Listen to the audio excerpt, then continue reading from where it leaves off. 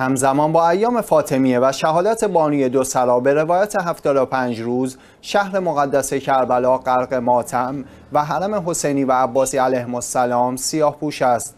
به گزارش شیعه ویوز جمعی از مردم عراق با حضور در حرم حضرت سید و شاد علیه السلام به زیارت و نیایش پرداختند.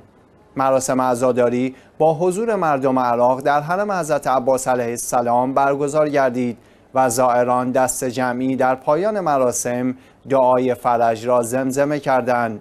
در حالی که عراق به دلیل شیوع کرونا زائر خارجی نمیپذیرد و در روزهای اخیر مرزهای خود را برای جلوگیری از ورود آن به روی غیر عراقیان بسته است اما منع تردد و محدودیتی در شهرهای زیارتی عراق اعمال نمی شود و زائران عراقی از نقاط دور و نزدیک به سوی حرم مشرف شده و به زیارت می پردازند. زائران در بین الحرمین نیز همزمان با روز شهادت حضرت صدیقه کبرا فاطمه زهرا سلام الله علیها به عزاداری پرداخته و شهادت آن بزرگ بزرگترین بانو را به سوگ نشستند.